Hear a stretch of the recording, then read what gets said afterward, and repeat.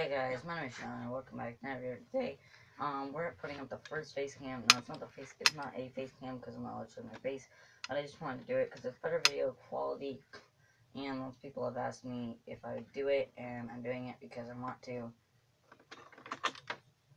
Um, I have to hold my microphone because I really don't feel like moving my microphone my microphone stand right now.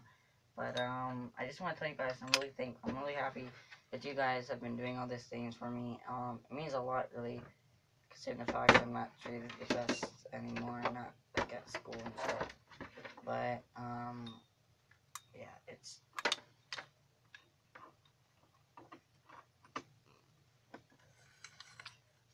it's been quite crazy.